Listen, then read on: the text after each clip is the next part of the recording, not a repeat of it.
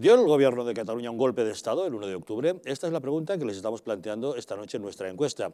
Si ustedes creen que no, que el gobierno de Cataluña no dio un golpe de Estado, para votar pueden llamar al 905 80 81 40. Pero si creen que sí, que sí dio un golpe de Estado el gobierno de Cataluña el 1 de octubre, deben llamar al 905 80 81 41.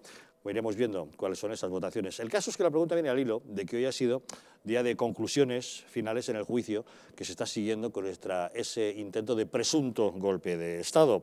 Resulta que en su alegato final el fiscal Javier Zaragoza ha asegurado que todo lo que ocurrió fue efectivamente un golpe de Estado, un ataque al orden constitucional en el que la violencia utilizada fue un instrumento para favorecer la declaración de independencia mediante la presentación de España como un Estado represor a nivel internacional.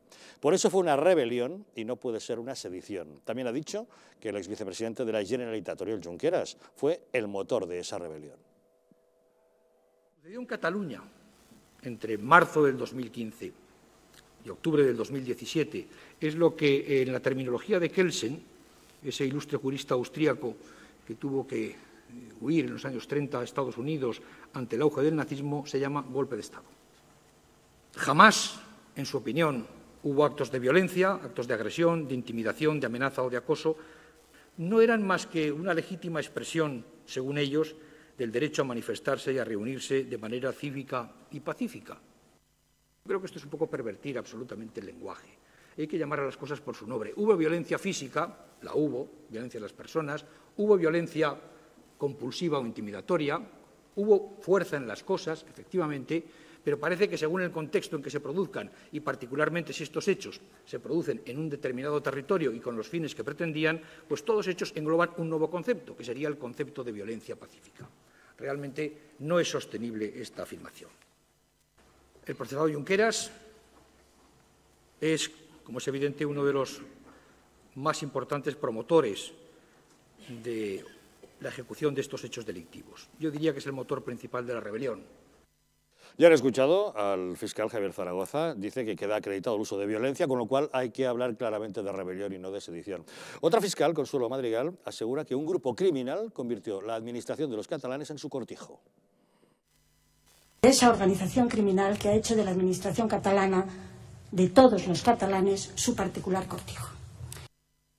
Organización criminal, utilización de violencia, golpe de Estado. Estas son las conclusiones de la acusación de la Fiscalía. Veremos en qué queda la sentencia. César, ¿qué te parece? Pues lo que más me llama la atención es cómo el gobierno de Pedro Sánchez eh, sigue prostituyendo la, la abogacía del Estado con el Mantiene sedición, sí. Claro, con el alegato que hemos visto hoy en la sala por parte de la abogada del Estado, la señora Sebane, diciendo que no hay rebelión, sino sedición y que no ha habido eh, una violencia Además, que es que tenía aquí la transcripción de su intervención y es que me llama, me llama mucho la atención porque es que me, parece surrealista que se llegue a argumentar esto. Porque dice la señora Rosa María Sebane, ¿cuál es la violencia que exige la rebelión? Y dice, mm, eh, ha afirmado que resulta imprescindible que se culpan dos requisitos que no mm, detecta. El primero, que esa violencia haya sido organizada y prevista como un elemento nuclear para la consecución del fin pretendido, es decir, que fuera uno de los elementos centrales del plan de los acusados hacia la independencia.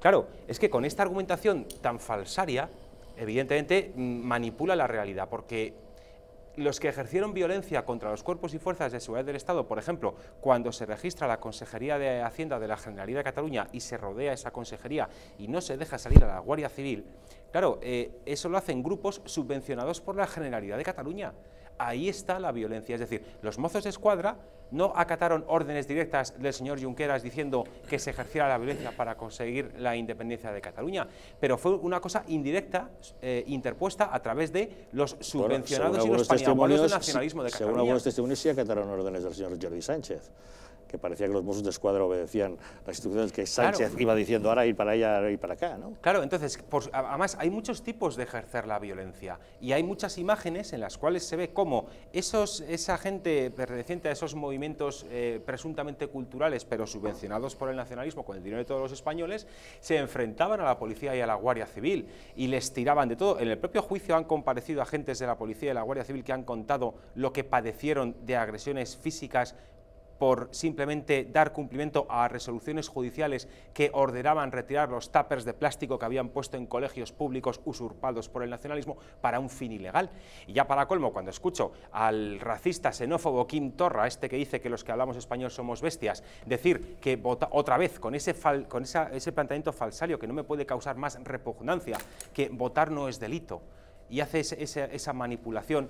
Eh, lo que es delito es convocar un referéndum sin competencias, lo que es delito es dedicar dinero público a un fin declarado ilegal por el Tribunal Constitucional y lo que es delito es pretender robarnos a todos los españoles una parte de nuestro país imprescindible, irrenunciable e innegociable como es Cataluña. Don Guillermo. Pues yo creo que ha sido muy concluyente y muy convincente lo, que ha señalado el, fiscal general del Estado. ¿no? Yo creo que, bueno, desde luego la Fiscalía General, vamos, eh, es un golpe de Estado clamoroso lo que ha ocurrido. ¿no? La, definición de Kelsen eh, no deja ningún lugar a la duda. ¿no? Yo cuando se recuerda constantemente, parece que algunos viven en el patrón decimonónico de golpe de Estado, pensando en el general Pavía, a, caballo, a caballo, en el a, caballo ¿no? es decir, si la subversión de un orden constitucional por métodos no previstos en ese propio orden constitucional, precisamente para derogarlo y para imponer otro orden, que es el orden de la pura arbitrariedad, es un golpe de Estado y lleva inherente, aparejada, la, violencia, más allá de las manifestaciones de violencia directa o indirecta que también concurrieron y más allá de la precisa calificación jurídica, políticamente, desde luego, estamos ante un, ante un golpe de Estado. Creo que de lo que señalaba don César hay una cuestión especialmente, especialmente relevante y con la que me quedo. Lo que se ha intentado aquí, más allá de dar un golpe de Estado, es apropiarse indebidamente de lo que es de todos, del territorio político español.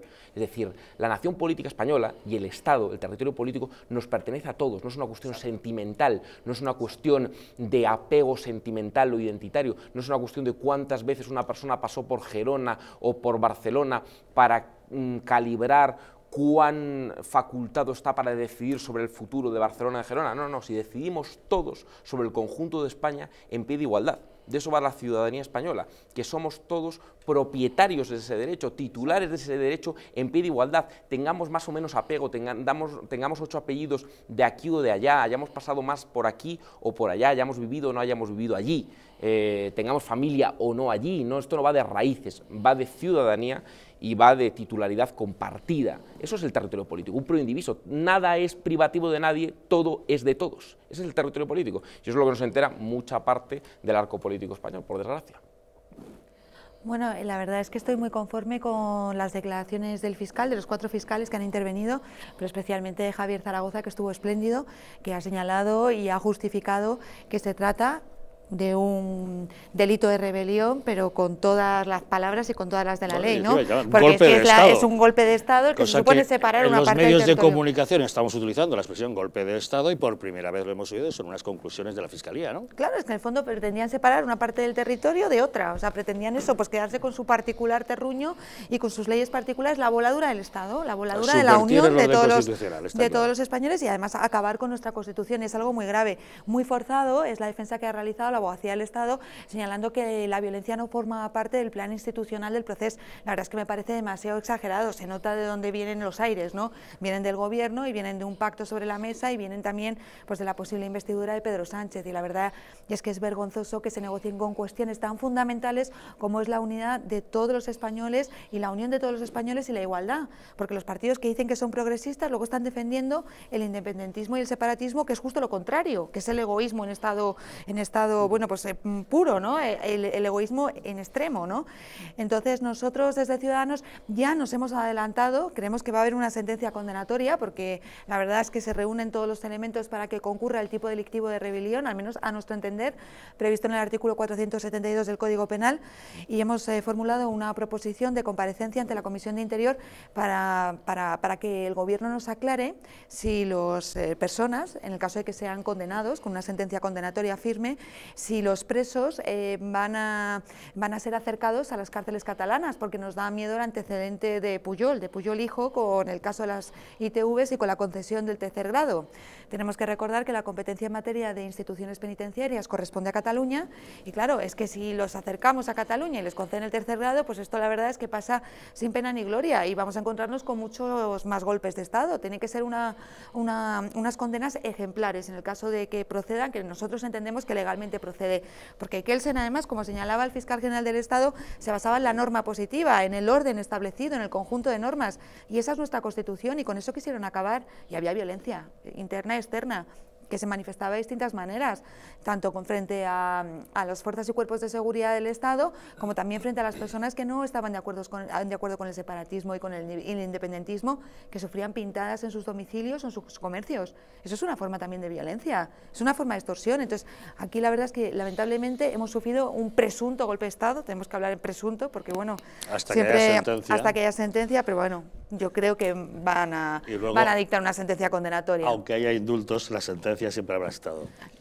Pues sí, por no ahondar en, más en lo que todo el mundo cree que pasó y lo que vimos que pasó, eh, porque ya sería una redundancia, sí me gustaría poner el foco en lo que creo que es eh, llamativo y que se reitera y que se ratifica con el tiempo, que es la actitud del Gobierno.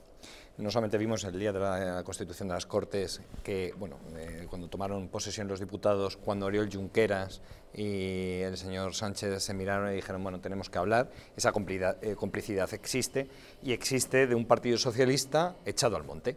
Un partido socialista que no nos olvidemos es el sanchismo en toda su capilaridad no por ser el Partido Socialista de Torrejón de Ardoz o el, Partido Socialista de Dos Hermanas, es menos sanchista que, el señor Sánchez. Quiero decir, en eso también hay que tener eh, una coherencia, doña Silvia, y es que el Partido Socialista, siento decirlo, es el Partido Socialista que quiere, bueno, tener sus mm, relaciones, buenas relaciones con estos señores, que han jugado a romper la unidad nacional de España. Con ese Partido Socialista, que usted se lleva las manos a la cabeza y dice, yo no sé cómo con las fuerzas progresistas que se autodenominan progresistas, es que entonces no cabe cabida ninguna apoyar en ningún territorio al Partido Socialista, porque fortificas y porque le das más fuerza y le das más aire a un Partido Socialista, por favor, a un Partido Socialista que cada vez con mayor poder territorial, con una base de implementación más, eh, bueno, vamos a decir, más eh, gruesa, resiste mejor también a nivel nacional. Creo que buen favor haría a, a España, a todos los españoles del Partido de Ciudadanos, que ponga bien y haga valer sus escaños en cualquier ayuntamiento, en cualquier comunidad autónoma, incluso, por supuesto, en el Parlamento Nacional, para que el señor Sánchez no se vea fuerte y no siga, a través de la institución nacional, del Gobierno de España, favoreciendo pactos que solamente van en ayuda de estos que han querido romper España. Y ahí es cuando el movimiento se demuestra andando. Bueno, José Manuel Villegas la verdad es que ha manifestado y ha hecho unas declaraciones, las hizo ayer eh, precisamente, señalando que no se iba a pactar con ningún gobierno socialista que no renunciara previamente a las políticas territoriales de Sánchez, a su nación de naciones, a las políticas que se están adoptando respecto a Cataluña, que era una condición sine qua non, si no, no iba a haber negociación. Entonces yo creo que la posición de Ciudadanos, que además es un partido que ha nacido para luchar contra el independentismo y el separatismo en la peor época, en 2006, cuando el Estado no estaba presente en Cataluña, cuando estábamos solos, porque el Partido Popular pues había dejado a Cataluña de la mano, pues digamos, como se dice coloquialmente, de Dios, pues el, el Partido Ciudadanos siempre ha luchado por la unidad de España y en el territorio catalán, ahí donde, donde es más difícil la lucha, por lo que nosotros nunca vamos a dejar de defender la unidad de España, la unión de todos los españoles y la igualdad de todos los españoles. Y eso va a ser una condición sine qua non, eso sí que es un cordón, eso es un límite. Yo creo que fue el ministro de Educación del Partido Popular el que introdujo cambios normativos para que quien no pudiera estudiar en colegios donde se estudiase en español pudiera a un colegio privado y lo financiase el gobierno central descontándoselo luego al presupuesto de la Generalidad de Cataluña. Creo que se lo hizo un ministro de Educación del Partido Popular, si no recuerdo mal. Por lo cual, yo creo que el Partido Popular sí que le plantó cara al nacionalismo. Otra cosa es que siempre se puede debatir y se puede discutir si había, hacía falta más eh, firmeza o menos, pero que se hicieron cosas contra el nacionalismo, se hicieron.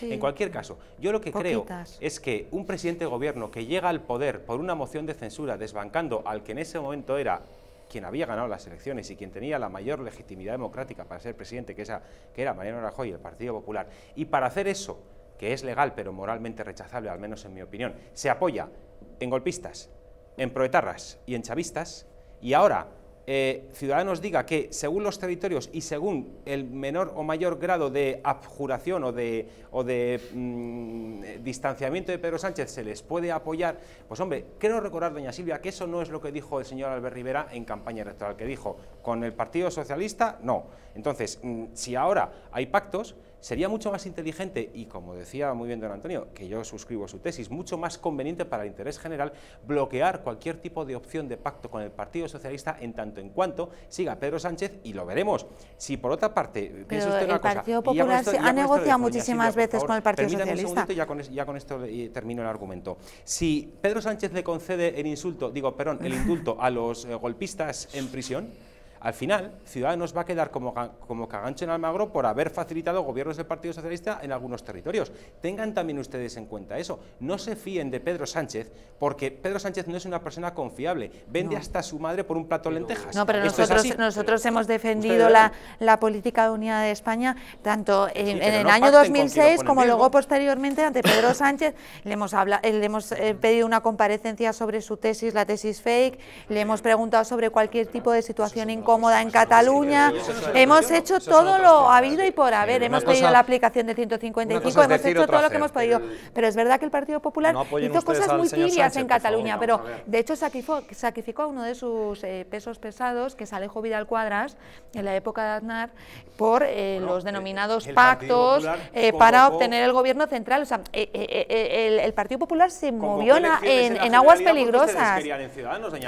Eso fue también tibio, no sé, pregunto convocó elecciones en Cataluña porque ustedes se empeñaban en convocar elecciones a la mayor rapidez posible cuando se produjo el golpe de Estado. No sé si eso fue tibio también por, parte del Partido Popular, no sé cómo lo calificaría, pero eso fue su partido el que quiso elecciones ya.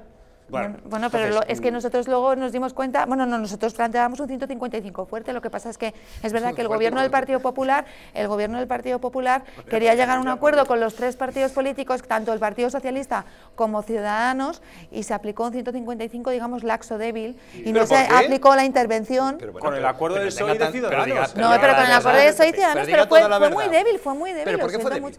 Pero fue débil porque lo acordó Mariano Rajoy. Nosotros no teníamos mayoría absoluta en el Senado. es que, vamos a ver, tienes que asumir la responsabilidad de tus propias decisiones. ¿Te lo cuento? ahora, ahora ¿Se lo cuento?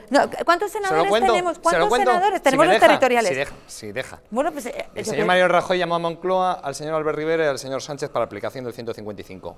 Y uno le dijo, yo te apoyo siempre y cuando se haga el 155 para convocar solo elecciones. Y el otro le dijo, yo te apoyo siempre y cuando sea un 155 que no entre, por ejemplo, en TV3, o sea, débil. Si no, no te apoyamos, ni Ciudadanos ni Partido Socialista. Pues eso fue débil no mienta. Es que ustedes mienten más.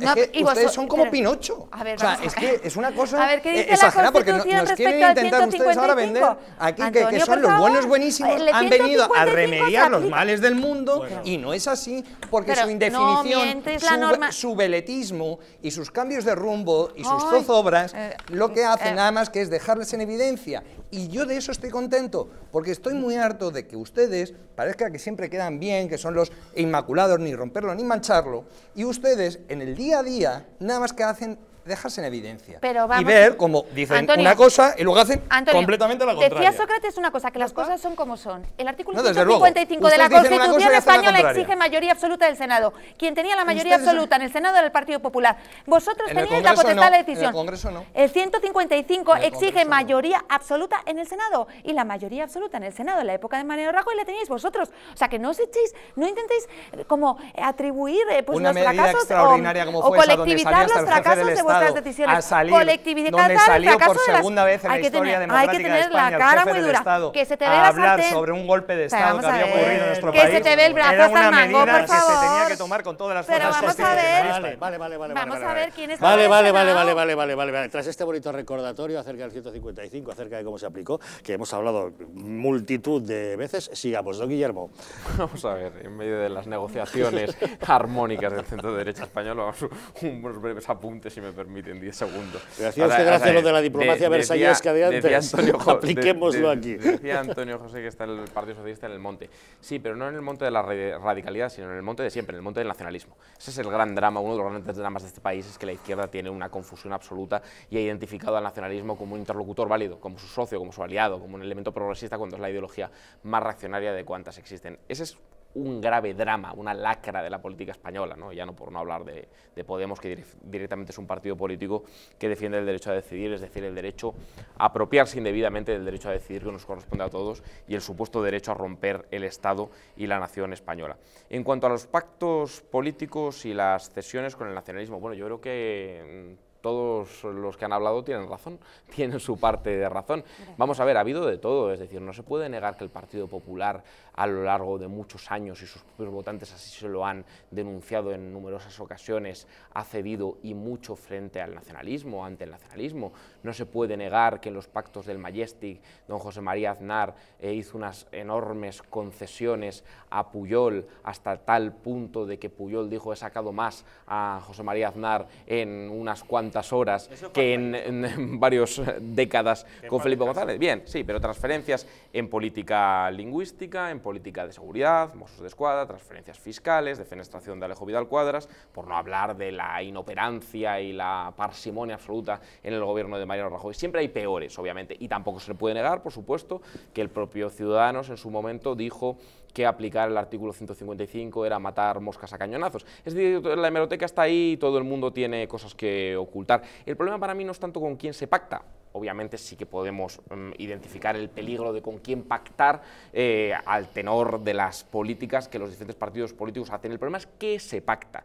El problema es que siempre se pacta o bien la ruptura del Estado abrupta o bien la eh, política de debilitar al Estado de forma velada. A mí me preocupan las declaraciones que hoy he escuchado a Alfonso Alonso, lo tengo que decir, a mí me preocupa oír al Partido Popular Vasco decir que no se preocupen, que el Partido Popular Vasco va a ser un oasis de moderación, es decir, de defensa cerrada del concierto económico, de la, de la foralidad, mm, planteando incluso su proximidad al Partido Nacionalista Vasco. A mí me preocupa ver esa coalición frente al nacionalismo en Navarra que claramente enarbola la bandera de los derechos históricos de la desigualdad. Es decir, solo planteo que cuidado el contenido de los pactos y cuidado con las diferentes rupturas de España, porque hay rupturas abruptas de España y formas veladas y por fascículos paulatinas de romper España. Yo, lo que quiero decir es que Veleta, pues el Partido Popular ha ido primero hacia la derecha y luego las elecciones hacia el centro. primero impugna el matrimonio homosexual, luego eh, se declara eh, pues eh,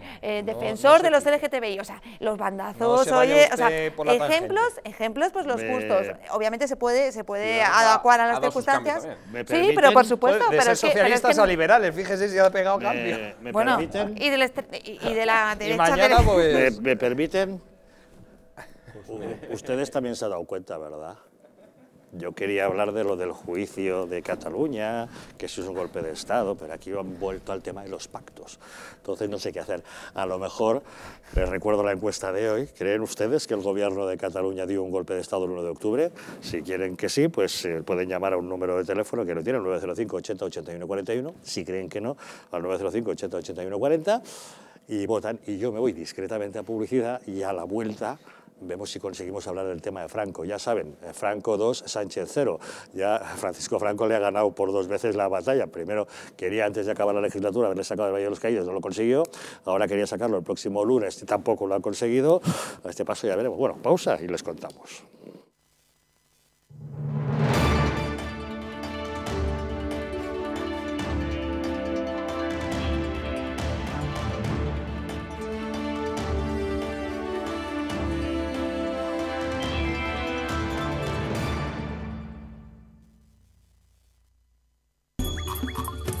Ahora que lo compartimos todo, podemos compartir mucho más.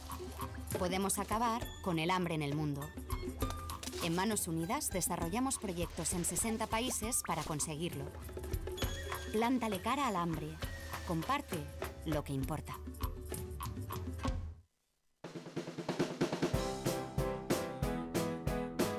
Mercado de Montiz. Una experiencia única y diferente.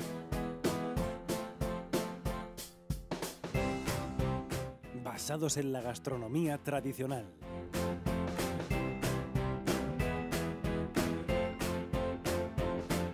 Especialidad en carnes y arroces.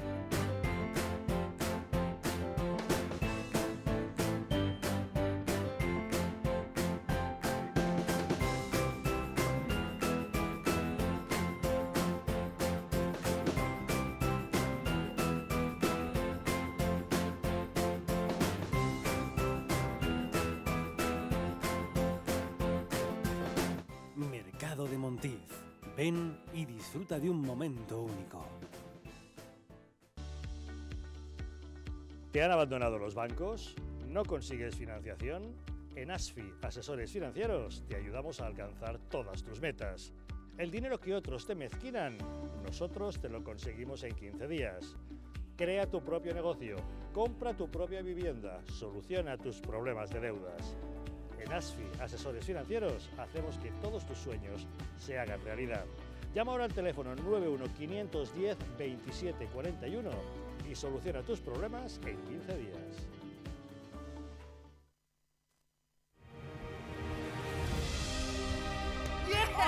A partir del 1 de abril, en el Distrito Televisión, proyecciones de la luz oriental. Se transmitirá varias películas maravillosas en los lunes, martes y domingos a las 16.30 horas. A continuación, la luz oriental en el Distrito Televisión.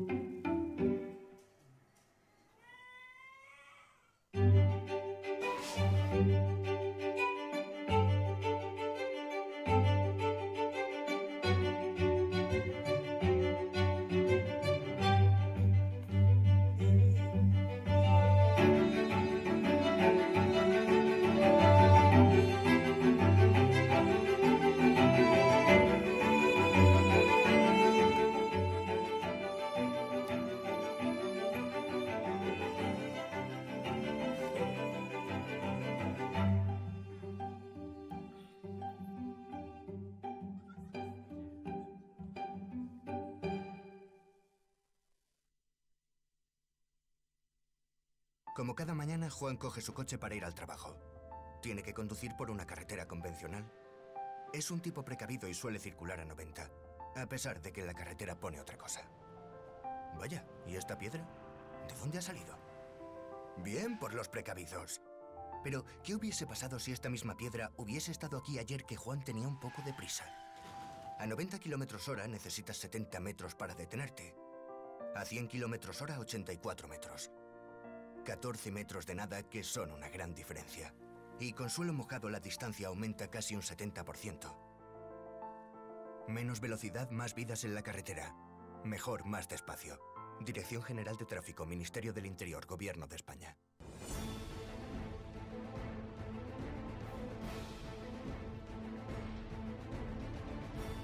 Si la España nación de naciones va a llegar. Visca Cataluña, lliure y soberana. Diré que yo soy el endacari más peligroso para sus intereses. Independent en forma de república.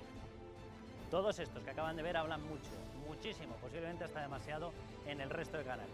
Y se les hace una crítica, pero pequeñita. Aquí va a ser al revés, en Distrito TV va a ser al revés. Aquí ellos van a poder hablar, por supuesto, pero la crítica va a ser mucha, muchísima, va a ser tremenda. ¡Hala! Con España cuesta, todos los domingos de 10 a 12. あ。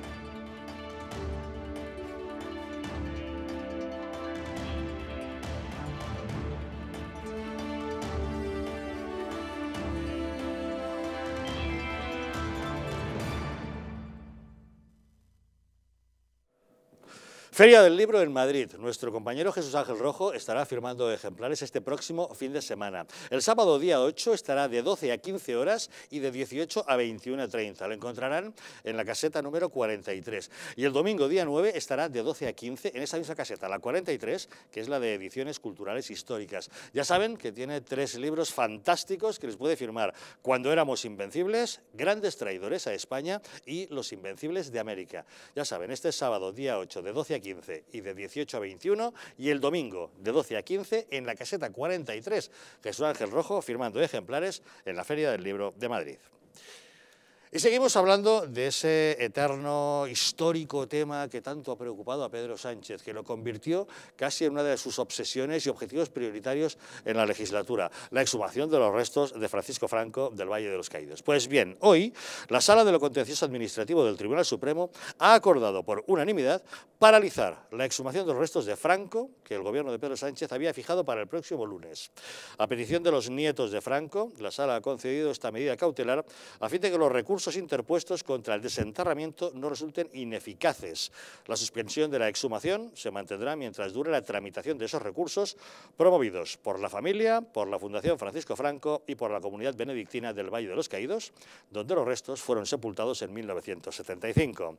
El pasado 15 de marzo, el Consejo de Ministros había adoptado un acuerdo por el que daba por concluido el procedimiento administrativo iniciado el 31 de agosto de 2018 para la exhumación de Franco y establecía su reinhumación en el Pardo el próximo día 10 de junio, dado que la familia no accedió a designar un destino alternativo. Ahora, como ven, todo queda paralizado en espera de decisión judicial.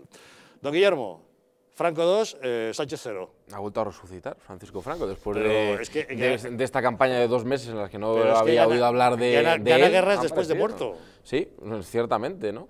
Yo creo que, bueno, que obviamente en un Estado de Derecho hay que garantizar la seguridad jurídica y hay que respetar las resoluciones judiciales y creo que la clase política española debería empezar a hablar de los ingentes problemas que existen a día de hoy en la sociedad española sin necesidad de cantar eh, bingo, es decir, cantar franco cada dos por tres, porque luego pasan estas cosas, ¿no? Que se abre de una cuestión ideológica. A ver, don Guillermo, usted que es jurista, usted sabe que una tumba no se puede remover.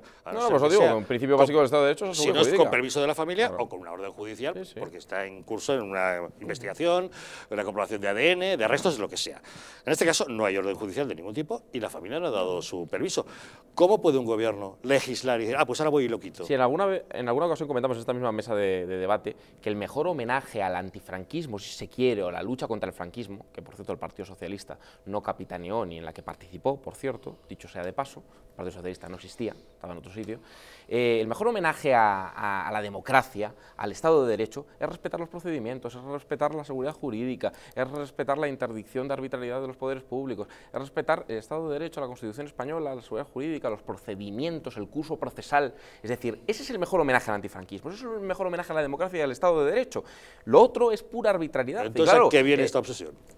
Pues viene efectivamente a una obsesión de carácter psicológico, psiquiátrico, es decir, a, la constante, a sacar un... Sí, sí, cae del lado de lo psicológico psiquiátrico. Una obsesión que llevó a, la vicepresidenta Carmen Calvo a mentir respecto a su encuentro en el Vaticano. Desde un punto de vista de izquierdas, yo podemos entender que desde un punto de vista socialista podamos plantear políticas fiscales en las que discrepemos con los liberales conservadores, políticas en cuanto a la derogación de la reforma laboral. Hay muchos temas de los que se podría hablar y discutir, políticas de vivienda, políticas sociales, políticas económicas, pero estar constantemente intentando sacar el espantajo de Franco constantemente, pues al final te topas con estas cosas, que en un Estado de Derecho hay que respetar los procedimientos vigentes y plantear cualquier otra cosa es una tomadura de pelo. A mí, de todas maneras, leyendo la resolución, lo que sí me ha sorprendido, no sé si es un error tipográfico o historiográfico, decía Francisco Franco, jefe de Estado desde 1936. A mí eso me ha sorprendido, pero bueno, ya como detalle, ¿eh? a pie de página, como detalle. Me parece que hay un error o tipográfico o historiográfico. Pero bueno, lo dejo para, para animar la mesa de debate por el otro lado, que seguro que discrepan conmigo. Lo investigaremos, se, lo investigaremos. Se, han olvidado del,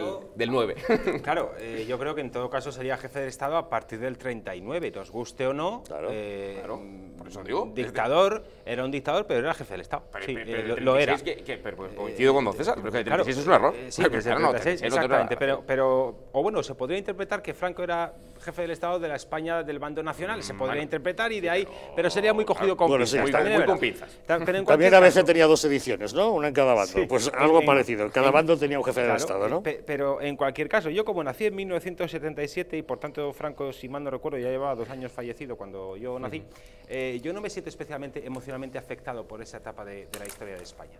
Y yo lo que creo, como una persona que nació en la transición, o que nació eh, justo ya cuando Franco había fallecido, es que lo mejor que se puede hacer con el Valle de los Caídos es dejarlo tal cual fue construido por la dictadura, para que las generaciones futuras lo puedan conocer tal cual lo hizo la dictadura, precisamente. Y eso incluye, en mi opinión, eh, dejar a Franco en la tumba donde, por cierto, su majestad el rey don Juan Carlos I determinó que se le sepultara. Hay una orden firmada por él.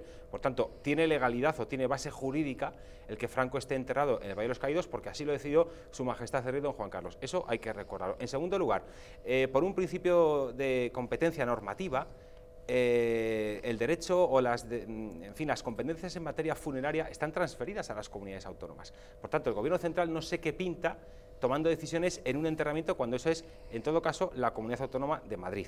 En tercer lugar, eh, como bien habéis recordado antes, según la legislación vigente no se puede sacar los restos mortales de una persona de su tumba sin autorización de la familia y eso, hasta donde yo sé, rige también para los restos mortales del dictador, porque estamos precisamente en un Estado de Derecho. Y una gran diferencia que hay con respecto a una dictadura es que el Estado de Derecho afecta a todos los individuos de una nación y a todas, las, a todas las realidades. Y la familia de Franco, por muy familia del dictador que fuera tiene derecho a exigir la tutela judicial efectiva del Tribunal Supremo, el Tribunal Supremo ha establecido que hasta que no resuelva el fondo del asunto los restos no se pueden sacar y por otra parte eh, la familia se vulnera doblemente sus derechos. En primer lugar, se sacan los restos de su antepasado sin su autorización. Y en segundo lugar, para colmo de males, que esto sí que es chavista, eh, populista y dictatorial, se pretende enterrar esos restos en un lugar donde la familia no quiere que se entierren y se le vuelve a negar el derecho a la familia de enterrarlo donde la familia quiere. Su primer deseo es que los restos sigan donde están. Vulnerado ese primer derecho, la familia del dictador que ha dicho que lo quiere enterrar en la Catedral de Madrid. Y el gobierno dice que no. Pero vamos a ver, en una democracia, ¿quién narices es un gobierno para decidir el enterramiento de los restos de una persona? Es que no lo puedo comprender, es que esto apesta a totalitarismo asqueroso. Y es que además estamos dedicando un montón de tiempo y de energías a algo que sinceramente eh, a lo que es eh, eh, los intereses generales y lo que son las preocupaciones de la inmensa mayoría de los españoles no es en absoluto relevante. Hay que hablar, como muy bien decía don Guillermo, de otras muchas cosas que nos afectan a todos, pero creo que lo más inteligente que se puede hacer con el Valle de los Caídos es dejarlo tal cual está y por cierto, ya que estamos, mantenerlo en un buen estado de conservación, precisamente para que las generaciones futuras lo conozcan. En muchas ocasiones se habla de Auschwitz eh, y en Alemania hay una ley, eh, mejor dicho, está escrito, está estipulado por ley que no se puede cambiar ni una puñetera verja de Auschwitz para conservarlo tal cual lo construyó la dictadura de Hitler. Pues deberíamos aprender de los alemanes en ese sentido. Conservemos lo que hizo la dictadura tal cual está para conocer la obra de la dictadura y que luego cada español se forme su propia opinión en libertad, pero con conocimiento de causa. Bueno, está claro que el Supremo ha decidido de forma cautelar, ¿no? Entonces luego la decisión final pues eh, será la que corresponda, porque cuando se decide de forma cautelar es simplemente de forma preventiva para evitar que los perjuicios sean irreversibles, ¿no? Que si finalmente eh, decide que, que, no se lleve a cabo la exhumación del cuerpo de Franco, pues que no sea necesario un nuevo traslado. Parece que el Partido Socialista es que solo se inventa a Franco porque no tiene ningún otro tipo de política ni que aplicar, ni que defender, ni que proponer. Entonces, pues el fantasma de Franco le sirve bastante de parapeto para la ausencia de realmente políticas y medidas por parte del Partido Socialista. Solo sabe subir impuestos y hablar de Franco. Entonces, es que, vamos, claro, con, esa, con esas bases, pues difícilmente lo vamos a tener los españoles. Pero bueno, nosotros respetamos las decisiones de los magistrados del Supremo en todos los aspectos y desde luego el gobierno de Pedro Sánchez lo que tenía que haber intentado llegar a un acuerdo con la familia. Eso es que lo, es lo primero, pero simplemente ya por, por, moral, ¿no? es que ya, pero haberlo intentado de cualquiera de las formas posibles, no, no, no, sé, no haber llegado a la vía judicial, ¿no? Porque las familias es que es un ser querido. Lo que no tenía que haber convertido esto en una obsesión. Dejen a Franco ahí, que no pasa nada, ¿no? Ya está. Eh. Creo que hay más visitas ahora a los bueno, han, han, caído, han, triplicado las visitas desde que, desde que han hecho tanta publicidad del tema, sí.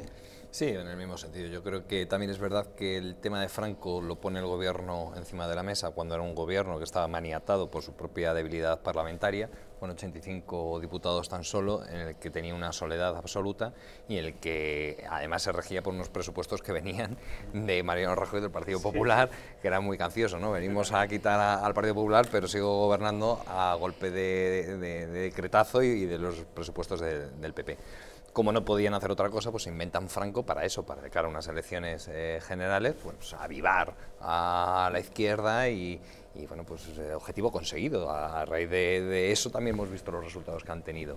Y bueno, hay mucha gente que ha picado el anzuelo y muy bien diseñado en este caso por el Partido Socialista, que en esto pues no le vamos a quitar eh, mérito, ¿no? porque cuando eh, se trata de manipular lo hacen muy bien el Partido Socialista. Nosotros, ¿qué planteábamos? Nosotros planteábamos una ley de concordia derogar la actual ley de memoria histórica y sustituirla por una ley de concordia donde se reconociera y se respetara y se homenajeara a todas las víctimas, de un bando y de otro, pero a todas. Y que también se pusiese en valor y se reconocieran los, hechos heroicos que hubo por parte de ambos bandos también. Y esa era la línea del Partido Popular. Decías tú que habías nacido en el 77, yo nací en el año 1985, o sea, eh, España estaba entrando en la Unión Europea. Fíjate dónde me pilla, pero también pues tenemos sensibilidades todos en nuestras familias, y todos eh, tenemos pues, vivencias y, que nos han contado y, tan respetuosas son las de uno como las de otro bando. Y yo creo que venir a estas alturas de la democracia, a estas alturas de la película, a remover ciertas heridas, a hurgar, a meter el dedo en la llaga para arañar, una, bueno, intentar sacar unos votos, un rédito electoral, cuanto menos es nauseabundo y podemos poner una serie de calificativos interminables eh, a toda esta bueno, patraña que nos ha diseñado el gabinete de Moncloa durante este último año y medio. Eh, en ese sentido yo creo que ha sido una equivocación política, eh, una equivocación jurídica a la vista de lo que está en suspensión cautelar y estoy seguro que acabará siendo lo que tiene que ser, porque el derecho, como tú bien has dicho, hay que respetarlo, hay que, eh, hay que respetar los procedimientos, hay que respetar la ley y estos señores saben perfectamente cuál es el derecho, ellos sabían lo que iba a pasar, pero necesitaban este tipo de, de sobreactuaciones, como han necesitado otras, porque era lo único que tenían y bueno, parece que les, tristemente les ha dado resultado. El Partido Socialista hace dos trampas o incluso tres. Una, uno puede estar de acuerdo con el fondo de la cuestión o no, pero una cosa son los procedimientos. En un Estado de Derecho los procedimientos son sagrados. No puede estar de acuerdo con el fondo de la cuestión, pero habrá que hacerlo por los procedimientos legalmente previstos y respetando, desde luego, la potestad jurisdiccional de los juzgados y tribunales. Eso es un elemento fundamental del Estado de Derecho. Y hace otras dos trampas. Ponen el grito en el cielo de decir, ¿cómo no se ha hecho esta medida hasta la fecha en democracia? Bueno, que yo sepa, el Partido Socialista Obrero Español ha gobernado España. ¿eh? Durante largos años. Es el partido que más años ha gobernado España, entre los gobiernos de Felipe González y también de José Rodríguez Zapatero. Y esto no se hizo nunca. Entonces, bueno, tampoco se puede poner el grito en el cielo y decir, oye, ¿cómo no lo hicisteis nunca? Bueno, como no lo hicisteis vosotros tampoco. Es decir, y otra trampa, una tercera trampa de carácter histórico, que es dejar caer a rebufo de esta decisión que la lucha contra el franquismo la capitalizó el Partido Socialista Obrero Español, y eso es falso. Es falso, porque la historia está ahí y si, hubo algún partido político, además de la extrema izquierda, los grupúsculos a la izquierda del Partido Comunista, pero si hubo algún partido político que sí que es verdad que capitaneó esa resistencia antifranquista en el eh, interior, fue el Partido Comunista de España y otros grupúsculos, como digo, a la izquierda, a la extrema izquierda del Partido Comunista. Pero el Partido Socialista no estaba. Guillermo, ¿recuerdas la pintada de los 100 años de honradez y 40 de vacaciones? le, pintaban debajo. Bueno, y así fue el Partido Socialista Histórico de Rodolfo Llopis, bueno, luego el Partido Socialista renovado de, de Felipe González y Alfonso Guerra, que apareció estaban en Suresnes y de repente aparecieron y bueno, y en el 77 efectivamente hegemonizaron la izquierda porque daba miedo a la sociedad tras española la muerte de Franco se vio mucho demócrata de toda la vida alardeando que había corrido delante de los grises y cosas por También en la derecha, todo el mundo era centrista. Y, que, había estado en la clandestinidad y ese tipo de cosas. Que el, partido hegemónico de la lucha contra el franquismo fue el Partido Comunista de España, nos guste más o menos, pero eso es, un objetivo histórico, no fue el Partido Socialista. Sí, de hecho yo, por ejemplo, cuando se planteó la creación de la Oficina de Crímenes Franquistas en el Ayuntamiento de Madrid, que no sé si lo sabréis, para los que el Ayuntamiento de Madrid prácticamente no tiene competencias y no puede hacer prácticamente nada, pues eh, saqué a relucir unos extractos del diario de Cortes en que salían declaraciones de Marcelino Camacho, en que decían que, oye, que no, que la ley de amnistía tenía que aplicarse, que era un momento en que la concordia era lo único posible, que se tenía que, que eh, la concordia había sido posible y era lo único que podía reconstruir y hacer posible una vida española en el futuro. Claro, entonces es que y ellos intentan Pero te refieres a la ley de amnistía del 77. Sí, sí, la quieren derogar bastante desde entonces. ¿eh? ese capítulo estaba ya cerrado gracias a esa ley de punto final, de perdón y de concordia sobre la cual ¿eh? se estableció la transición Pero se ha empezado a discutir y el Partido Socialista, el Partido Socialista apoyaba la derogación de la ley de amnistía. Se ha llevado al pleno del Ayuntamiento de Madrid, se ha creado una oficina de crímenes franquistas con una dotación, creo que son de 200.000 euros, para investigar a los presuntos culpables como ejercer labores prácticamente judiciales. O sea, una auténtica barbaridad para crear un un, clima de crispación con dinero público. Y además, que es que es un revisionismo, iba a decir histórico, más bien histriónico, que es absolutamente eh, kafkiano. Eh, eso de la ley de memoria histórica de Zapatero, más bien sería ley de memoria histérica que no histórica, porque pretender que en una guerra solo mata uno de los dos bandos, que uno era beatífico y el otro era demoníaco, es, algo absolutamente kafkiano. Pero lo que demuestra, en mi opinión, que esa ley de memoria histérica de Zapatero era absolutamente ideológica y absolutamente kafkiana, es el mismo presupuesto con el que estuvo dotada esa ley. El último año de Zapatero que hubo presupuestos, si no recuerdo mal, fue 2010, porque en 2011 no hubo presupuestos, se convocaron las elecciones y ganó el Partido Popular con mayoría absoluta. Por tanto, los últimos presupuestos generales del Estado donde se dota económicamente esa ley son los de 2010.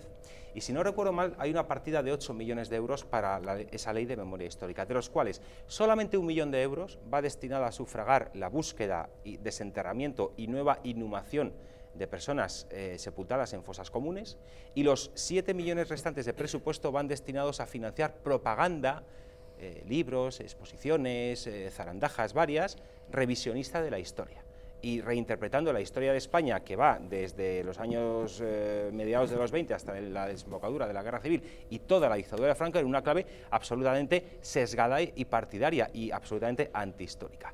Y por supuesto que una cosa es la memoria, que es lo que cada uno recuerda de haber vivido tanto porque lo vivió como porque se lo contaron de las diferentes partes de la historia de España, pero otra cosa es la historia. Serán los historiadores los que tengan que determinar con un consenso científico y en base a pruebas documentales estudiadas lo que pasó o no pasó en un periodo concreto de la historia de España.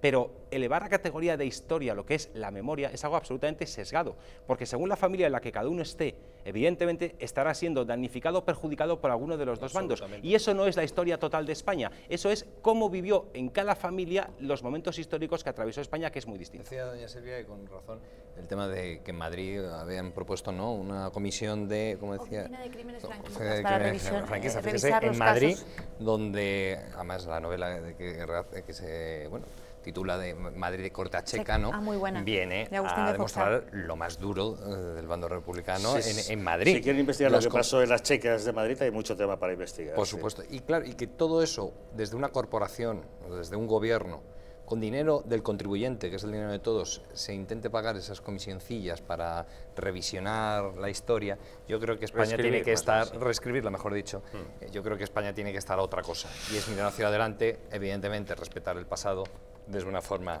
científica y respetuosa y dejarnos de estas zarandajas. Más Silicon Valley y menos Valle de los Caídos. Así debería ser. Bueno, ya saben que hoy les estamos planteando una pregunta en nuestra encuesta. ¿Creen ustedes que el gobierno de Cataluña protagonizó un golpe de Estado el 1 de octubre? Si creen que no, 905 80 81 40. Si creen que sí, 905 80 81 41. Vamos a hacer una pequeña pausa y a la vuelta les contamos. ¿Saben ustedes qué pasa si en una misma coctelera echamos el boato y el ceremonial de la familia real inglesa con esa campechanía un tanto descarada en ocasiones hasta un punto grosera del hombre más poderoso del mundo? Pues que agitamos y nos sale la visita de Estado que Donald Trump está realizando al Reino Unido. Ahora les contamos.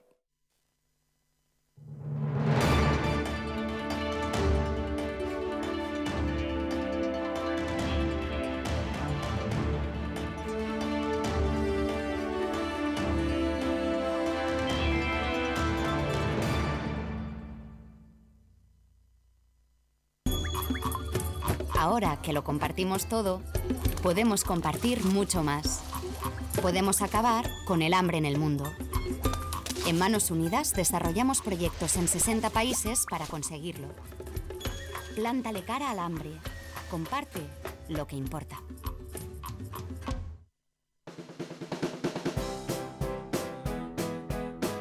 Mercado de Montiz.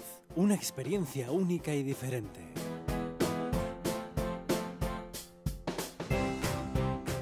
Basados en la gastronomía tradicional.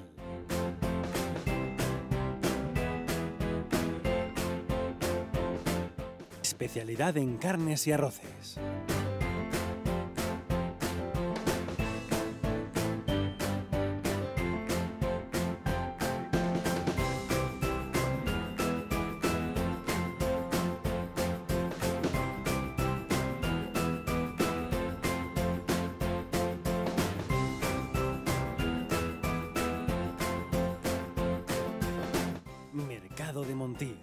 Ven y disfruta de un momento único.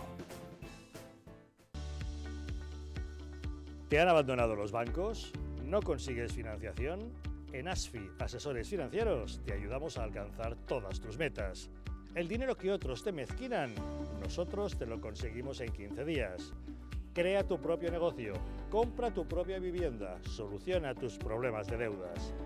En ASFI, Asesores Financieros, hacemos que todos tus sueños se hagan realidad. Llama ahora al teléfono 91-510-2741 y soluciona tus problemas en 15 días.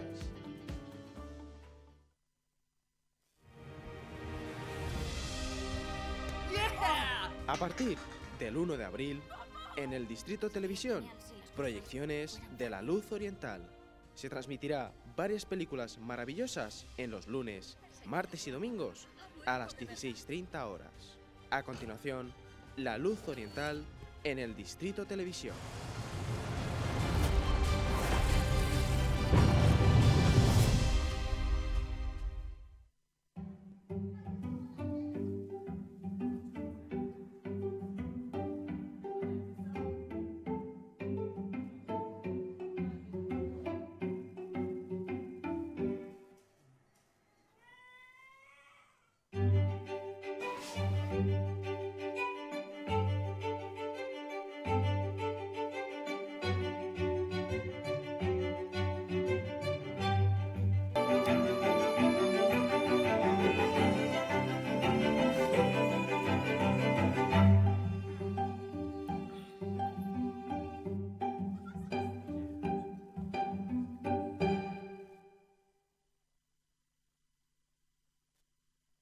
Como cada mañana, Juan coge su coche para ir al trabajo.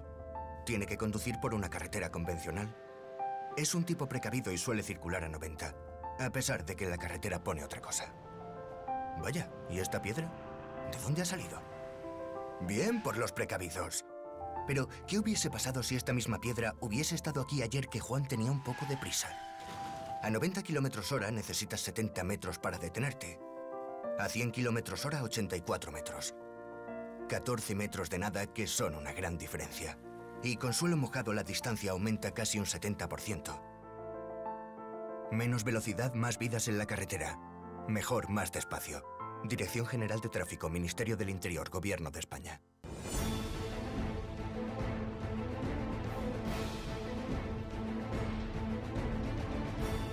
Si la España nación de naciones va a llegar. Visca Cataluña, lliure y soberana. Diré que yo soy el endacari más peligroso para sus intereses. Independent en forma de república. Todos estos que acaban de ver hablan mucho, muchísimo, posiblemente hasta demasiado en el resto de canales. Y se les hace una crítica, pero pequeñita. Aquí va a ser al revés, en Distrito TV va a ser al revés. Aquí ellos van a poder hablar, por supuesto, pero la crítica va a ser mucha, muchísima, va a ser tremenda. ¡Hala! Con España cuesta, todos los domingos de 10 a 12.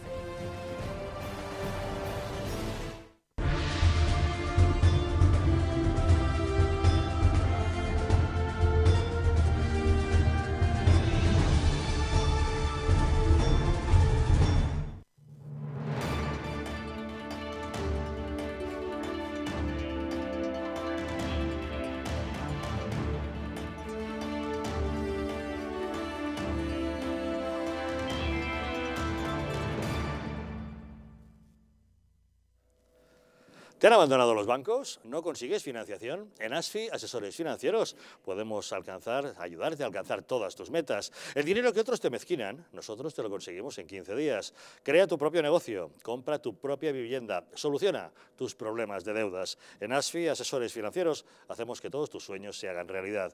Llama ahora al teléfono 915-102-741 y soluciona tus problemas en tan solo 15 días. Segundo día del viaje de Estado que Donald Trump está realizando al Reino Unido. La verdad es que son muchas y muy variadas las imágenes que nos está dejando esta visita.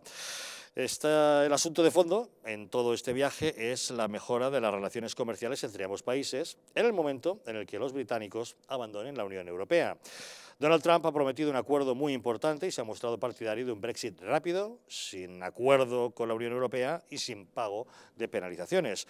En un desayuno de trabajo en el Palacio de St. James con la primera ministra Theresa May y con miembros de la realeza, empresarios y políticos, Trump ha defendido los beneficios que tendría un acuerdo bilateral de libre comercio una vez que el Reino Unido se libere de las cadenas, se refiere a las cadenas de la Unión Europea.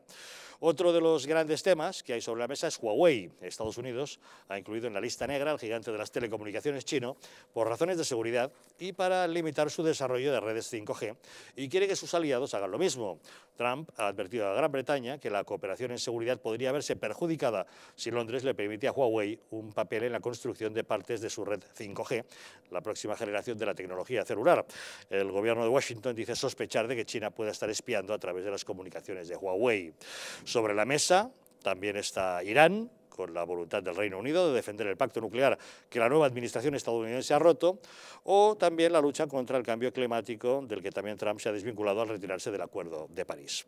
Decirles que a lo largo del día se han desarrollado protestas en las calles de Londres contra la presencia de Donald Trump, bajo el nombre de un carnaval de resistencia, activistas medioambientales, colectivos LGTBI, feministas, antirracistas e incluso políticos han convocado una gran marcha en la capital británica, una protesta secundada en otras ciudades del país como Birmingham, Stoke, Sheffield, Glasgow, Edimburgo, Chester, Leicester, Oxford y Exeter. Y en la manifestación de Londres, un protagonismo más que especial para el Baby Trump. Ahí lo tienen, el globo gigante con la caricatura del presidente estadounidense, que ya el año pasado fue utilizado para protestar por la anterior visita de Trump y que al presidente de los Estados Unidos no le hizo ninguna gracia. En fin, ¿qué valoración podemos hacer de esta visita de Trump a Reino Unido? Silvia. Bueno, lo que está claro es que Trump no deja indiferente a nadie, ¿no? O, la verdad es que no. O, encanta o le odian, ¿no? Ten en cuenta que ayer, antes de bajarse del Air Force One, cuando aterrizó en el aeropuerto, ya empezó a mandar un Twitter metiéndose contra el alcalde de Londres, llamándole perdedor y cosas por el estilo. O sea que haciendo amigos ahí donde va. ¿eh? Sí, sí, no, es una persona que desde luego le gusta llamar la atención. Bueno, respecto al Brexit, creo que es bastante más complicado de lo que plantea Trump. Claro, no es su país y no se trata de su economía y no está en juego tampoco eh, pues ninguna consecuencia económica negativa para Estados Unidos. Y en el caso del Brexit de Gran Bretaña, lo deseable para, para también para los españoles es que no se produzca la salida sin acuerdo, porque va a, ser, eh, va a generar eh, un, el debacle de la economía, se equipara a la crisis económica que se puede generar a la que tuvo lugar en el año 2008, es algo muy serio y lo ideal es que haya una salida pactada del Brexit, que no se rompa esa vinculación que ha tenido Gran Bretaña con la Unión Europea desde hace 45 años y se mantengan determinadas relaciones comerciales y además bueno, pues la oferta de Trump obedece mm, a intereses eh, estadounidenses, ¿no? a lograr un futuro acuerdo bilateral, mientras que la Unión Europea lo que le está ofreciendo es algo que ya lo tiene asido, ¿no? ya es, suponer realidades concretas que regular el tema de la frontera, regular el tema de aranceles, regular las relaciones comerciales y la verdad es que Reino Unido tiene mucho que perder porque eh, prácticamente eh, el intercambio comercial entre Reino Unido y, la Unión Europea representa 600.000 eh, millones de libras, que es muchísimo dinero y esto bueno pues puede afectar de una forma muy muy muy muy de, bueno, una forma devastadora a la economía tanto británica como al resto de la economía europea. Entonces, esperemos que, no haga caso a las declaraciones de Trump, que obviamente tiene intereses por, bueno, pues por llevar a cabo pues un acuerdo comercial entre Estados Unidos y Gran Bretaña. por el Brexit, ¿no? Bueno, de hecho, el ministro de Finanzas del gobierno conservador dice que él prefiere que incluso haya un segundo referéndum. Hay ah. voces que prefieren un segundo referéndum, porque a los referéndum muchas veces los carga el diablo, ¿no? Eh, este sin duda. Bueno, yo creo que en Trump hay que diferenciar dos, dos aspectos. ¿no? Uno es el, boato folclórico, las estridencias y las payasadas constantes, que son la forma, es el, modus operandi habitual. Y otra cosa es lo que en esencia significa Trump como pieza de la política internacional. Mm, Trump no ha desempeñado el papel que muchos esperaban de él, un papel favorable a las políticas ortodoxas, liberales, libre mercado, globalización, apertura comercial, sino más bien una política proteccionista, una política de aranceles, una política bastante heterodoxa en muchas cuestiones, que rompe un poco esa, esa presunción de continuar la línea clásica del Partido Republicano, la línea Reagan, desde luego, y la línea incluso eh, Bush, eh, desempeña un papel distinto eh, con todas las implicaciones que eso, que eso comporta. ¿no? proteccionismo, como digo, nacionalismo, populismo. Bueno, eh, claro, yo estoy de acuerdo con lo que, con lo que señala doña Silvia, ¿no? Yo creo que los comentarios son gratuitos, ¿no? La propaganda es gratuita, las implicaciones reales de, del Brexit eh, duro no son una broma. También estoy de acuerdo, como señalado don Javier, que, bueno, es efectivamente los referéndums los carga el diablo, pero también hay que tratar a los países, a los gobernantes y a los votantes como mayores de edad y cuando alguien vota algo, tiene que asumir las responsabilidades que comporta eh, ese voto. Es decir, yo no tengo tan claro que haya que salvar ahora la irresponsabilidad perpetrada en una operación mayúscula de populismo, eh, que bueno, que tiene sus consecuencias. Y claro, plantear a otro, ahora un segundo referéndum para blanquear los efectos palmarios del primero, pues es todo un ejercicio de mayúscula irresponsabilidad. Efectivamente, a través del, referéndum se banaliza lo que es la democracia, que es deliberación y participación. que James Cameron eh, tiene sus consecuencias el voto. A Cameron le, estalló en la cara el referéndum que planteó después del éxito de Escocia y Theresa May ha tratado de solventarlo por todos los motivos y, no le han dejado. Ha sido imposible que encontrase un acuerdo y los de su propio partido se la han fagocitado. Es decir, que a estas alturas o se hace otro referéndum o se van incluso haciendo caso a Donald Trump, dando un portazo y sin pagar penalizaciones. Y ahí os quedáis.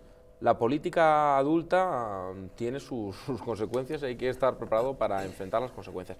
Yo creo que no ayuda de todas maneras en el, estar en el escenario internacional eh, estas estridencias, porque, hombre, el presidente de Estados Unidos eh, tiene que tener una, una, cierta responsabilidad y medir lo que dice. Aunque este señor, yo tampoco estoy de acuerdo con la caricatura de que es tonto. No, no, no. Este señor desempeña un papel eh, muy importante y muy diferente al que algunos esperaban que desempeñara. al no siempre ponderado Donald Trump. Efectivamente, al, al, al matiz hecho Al jefe de la diplomacia versallesca. versallesca, exactamente.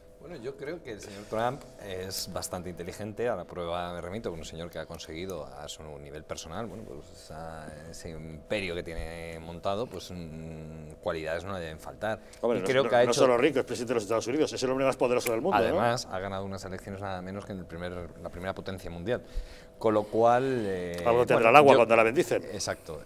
cuando es excéntrico no, yo creo que está muy bien medido, él sabe perfectamente que de esa manera también eh, llama la atención y como buen negociar, eh, negociador que es y como buen empresario que es, ha visto que en Río Revuelto pues ganancias de pescadores y él ha venido a Europa, al Reino Unido, a, oye, a tender la mano a un potencial aliado para que, bueno, pues en ese portazo... Potencial aliado, de eso nada, un gran aliado de toda la vida, el Special Relationship, las relaciones especiales que ya Winston Churchill estableció en el 46, creo que fue, han hecho que Estados Unidos y Reino Unido sean eh, grandes aliados, sobre todo en tres patas fundamentales, la comercial, la de defensa y la de inteligencia. La comercial, bueno, lo ha dicho Silvia hablando de las relaciones, la balanza entre ellos comercial es satisfactoria para ambos lados y estupenda, es decir, está empatada a altísimos niveles.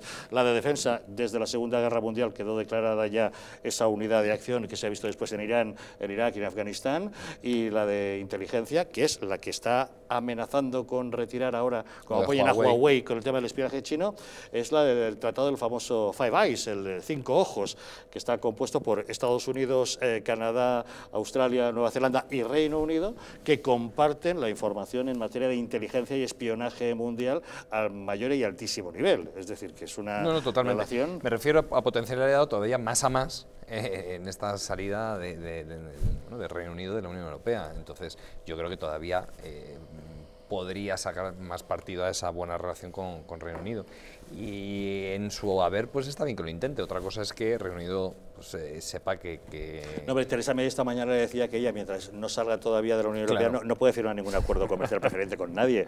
Eh, bueno, está salvando los muebles porque él esta mañana en el propio desayuno estaba diciendo, no, no, firme ya, ya me voy con esto firmado, ¿no? Y luego, estando de acuerdo con eh, Guillermo, en el que es verdad que, no tiene nada que ver con esa política esperada liberal o más bien proteccionista de aranceles, como bien has recordado, es verdad que el país, Estados Unidos, eh, le, funciona bien. Es decir, los resultados económicos eh, son muy buenos. El país marcha... Es que no hay un solo camino. No hay ningún... Antonio José, no hay solo un camino. camino liberal no es el único camino. Esa Con es lo mi cual, tesis. eh, yo creo que el señor Trump eh, pues tiene alrededor una serie de, de avales que, le, que le hacen eh, bueno, pues, eh, permitirse esas excentricidades, aunque algunos, desde la cortesía política que vivimos o que estamos instaurados, pues nos chirríe, pero esto es lo que César. los ciudadanos han votado. A mí me gustaría que, se diferenciara mucho más eh, eh, lo que es el, el coyuntural inquilino de la Casa Blanca, es decir, el señor Trump, con la relación que debemos y podemos tener de alianza natural con Estados Unidos. Si uno mira el contexto mundial actual, eh, ¿con quién va a aliarse Europa si no es con Estados Unidos? No lo puedo entender. Y además, ahora que esa Eh, visita... sí, pero es que es una alianza curiosa. Estados Unidos es la cabeza de la OTAN, eh, es decir, el sistema defensivo de los países europeos, encabezado por Estados Unidos, pero sin embargo comercialmente es teóricamente un competidor.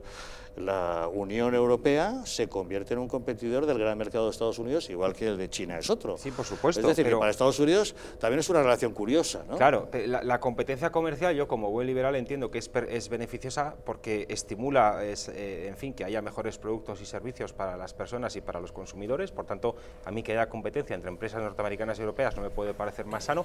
Por otra parte, eh, curiosamente, lo último que yo he visto en, términos empresariales es que eh, un consorcio automovilístico de capital, en fin, participado por norteamericanos, está proponiendo a otro europeo fusionarse, que es Fiat Chrysler con el grupo Renault. Entonces ahí hay cada vez más lazos eh, económicos entre empresas de ambos lados del Atlántico. Pero en cualquier caso, yo es que no tengo ningún antiamericanismo, sino todo lo contrario.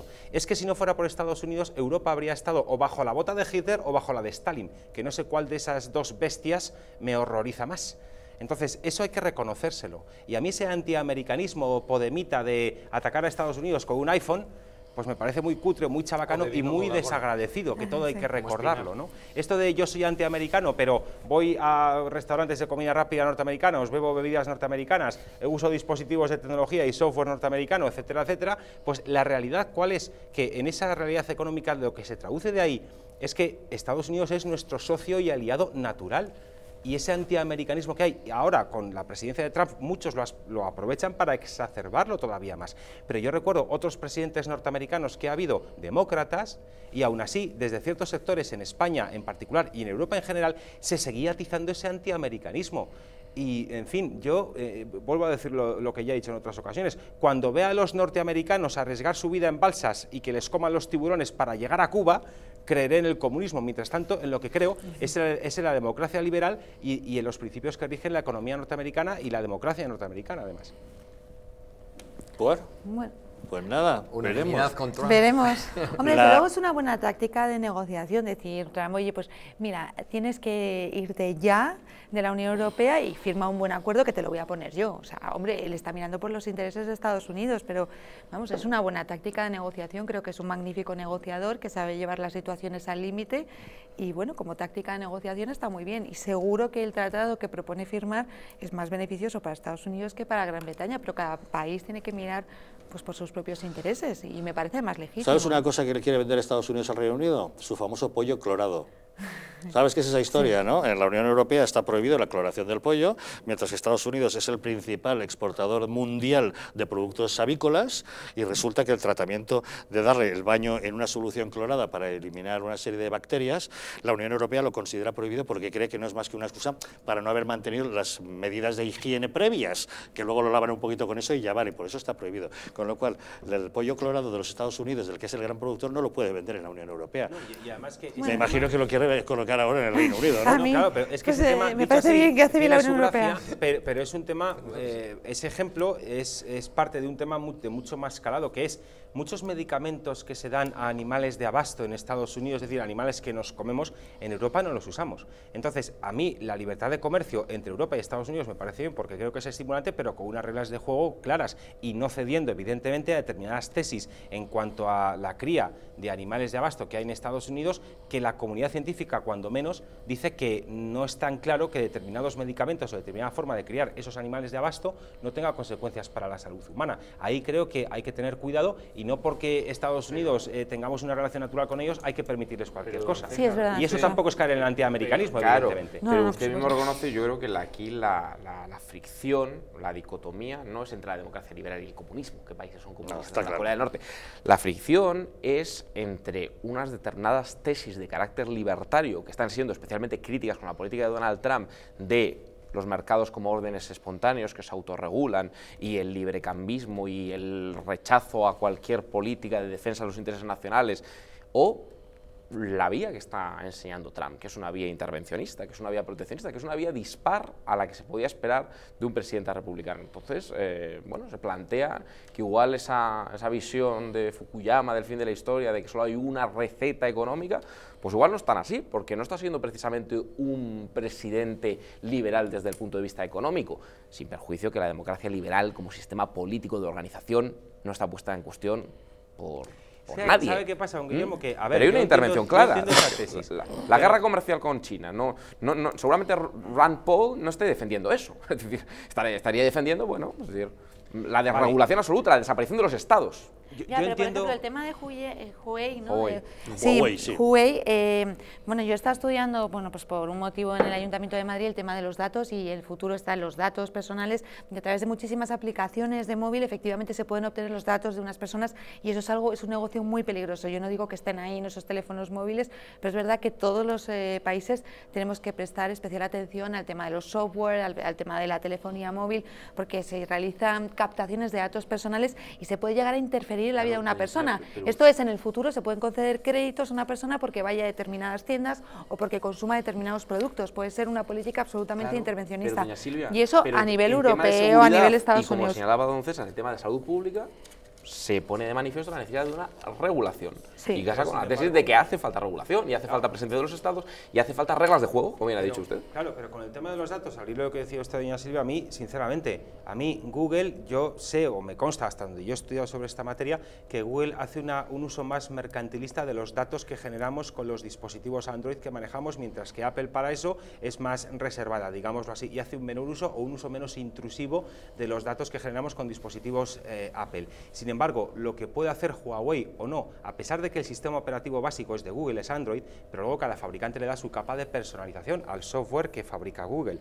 Por tanto, coincido bastante con la tesis de, Donald Trump de decir hasta qué punto esa capa de personalización que hace Huawei en el sistema básico de software de Google, que es Android, puede facilitar el uso eh, fraudulento o contra los intereses de Estados Unidos o de Occidente de esos datos. Imaginemos una persona, por ejemplo, que trabajase en el Pentágono con un dispositivo de Huawei a lo mejor hay software espía instalado en eso que se puede llegar hasta datos sensibles. Por tanto, yo la precaución de Trump con esas empresas eh, de, origen chino, en principio, me parece bien que se tenga esa desconfianza, porque no es lo mismo Google o Apple que Huawei porque el, régimen económico más de Huawei está controlado por el gobierno chino y no nos engañemos, China sigue siendo una dictadura. sí, sí, además, los ciudadanos chinos reciben puntos según eh, lean determinadas revistas, o sea, les puntúan, reciben puntos como si fuera un juego de buen ciudadano chino. Mientras que Apple y Google lo que sí que está acreditado es su absoluta independencia con respecto a la Casa Blanca. Por lo menos no hay dudas razonables al respecto como las hay con Huawei. Entonces, yo creo bastante razonable la postura... pública Huawei, es una empresa semipública china. Ahora bien, la contrapartida de esto nos puede meter a todos en un gran beneficio general, porque muchos componentes o muchos eh, elementos metálicos de los cuales están hechos los dispositivos móviles, las llamadas tierras raras, los mayores yacimientos de ese tipo de minerales están en China. Entonces, si China contraataca bloqueando las exportaciones de ese tipo de elementos que son básicos para fabricar componentes que luego llevan los dispositivos electrónicos, sean de un fabricante o de otro, porque los componentes son básicamente iguales, ahí podemos tener un problema a nivel del modo de producción capitalista, claro, con sus deslocalizaciones y con la globalización. No, sí, yo no lo sé, yo no estoy juzgando el caso en cuestión porque yo no sé si tienen eh, pues un software espía o no, pero que ojo, que muchas veces se pone el foco en pues, determinados aparatos móviles, en determinados software y que efectivamente se pueden manejar muchos datos y que pueden ser muy peligrosos y hay que controlar esos dispositivos y los datos personales, que nos desprendemos de ellos como si fuera una capa más, pero que puede afectar a nuestra personalidad y en el futuro se pueden regular determinadas decisiones en función de nuestros datos.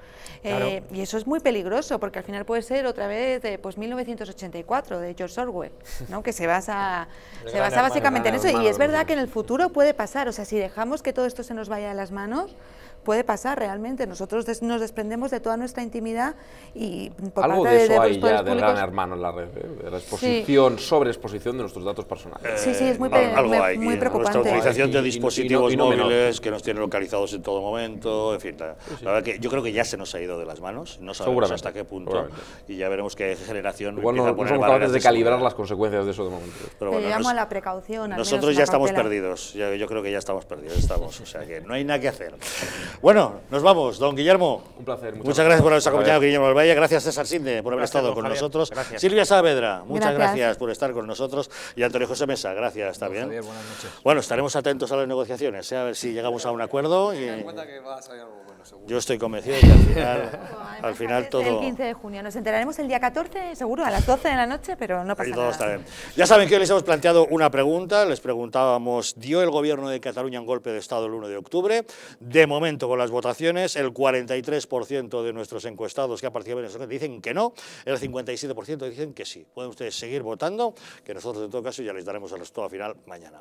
Nos vamos, les dejamos ahora con la película y nosotros les esperaremos mañana un día más aquí en Los Intocables.